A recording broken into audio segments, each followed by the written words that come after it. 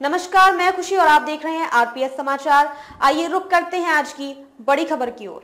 हौसले जज्बे का डोर है यह वीडियो। जाने कौन है ये, जिनके सम्मान में पीएम मोदी ही नहीं, सब झुक गए। राष्ट्रपति द्रौपदी मुर्मू ने राष्ट्रपति भवन में आयोजित नागरिक अलंकरण समारोह में कर्नाटक के दिव्यांग व्यक्ति के एस रजन्ना को पद्म श्री से सम्मानित किया है। बचपन में अपने दोनों हाथ और पैर खो चुके के एस राजन्ना को जब पद्मश्री से सम्मानित किया गया तो हाल तालियों की गड़गड़ाहट से गूंज उठा। सम्मान लेने से पहले के एस राजन्ना ने प्रधानमंत्री नरेंद्र मोदी का अभिवादन भी किया। इस पल का वीडियो सोशल मीडिया पर वायरल हो रहा है। वह सम्मान लेने से पहले नरेंद्र मोदी और केंद्रीय गृह मंत्री अमित शाह के पास गए और उनका अभिवादन किया। इस छोटी सी मुलाकात के दौरान उन्होंने पीएम का हाथ पकड़ा। पीएम मोदी का हाथ थामे राजन्ना। उनसे कुछ कहते हुए भी दिखे।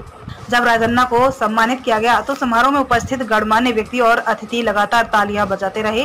राजन्ना दिव्यांग जन के कल्याण के वास्ते अपने काम के लिए जाने जाते हैं। कौन है के एस राजन्ना? राजन्ना ने बचपन में ही पोलियो के कारण अपने हाथ और पैर दोनों गवा दिए थे, लेकिन उन्होंने हार नहीं मानी और अपने घुटनों के बल चलना शुरू किया।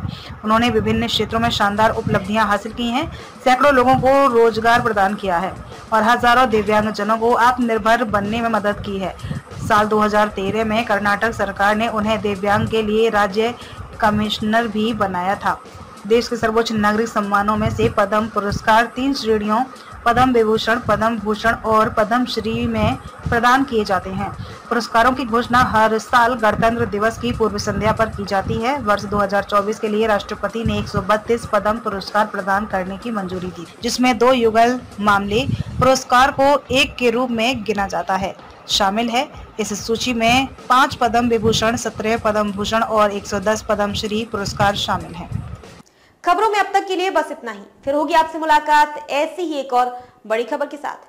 तब तक के लिए नमस्कार और देखते रहिए आरपीएस समाचार। ऐसे ही लेटेस्ट अपडेट्स के लिए हमारे चैनल आरपीएस समाचार को सब्सक्राइब करें और तुरंत नोटिफिकेशन पाने के लिए बेल आइकन प्रेस करना ना भूलें। अगर आपको हमारी खबर पसंद आई हो तो इसे ज़्यादा से ज़्यादा लोगों तक ज़रूर पहुंचाएँ।